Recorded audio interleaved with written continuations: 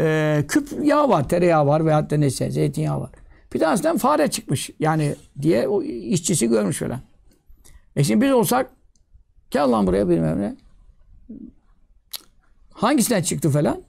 Hangisinden çıktı? İşte o da işte aşağı yukarı işte 40 tane küp karışmış birbirine belki ama şundan falan. Ee, işte sağından şu taraftan mı bu taraftan hiç incelemez. Adamın dediği bir tane hemen ayırır geri kalanı satar. E neden? E adam zaten sordum ona. O da dedi ki bundan çıktı.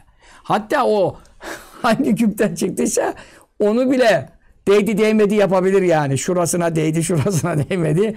Oradan da kaç kilo zayiata girmeyelim. Hacı abi der. Böyle bir zihniyet yani. Biz biz ne durumdayız ya? İmam-ı Azam radıyallahu teala? Dedi ki 40 küpün 40'ını da dökün. E büyük mal. Büyük mal yani. Para yani. Çok değeri var. E ne olacak? E niye? E çünkü bir iştibah oldu. Bir acaba girdi yani.